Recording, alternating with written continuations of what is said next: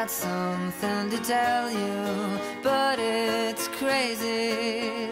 I got something to show you, so give me just one more chance.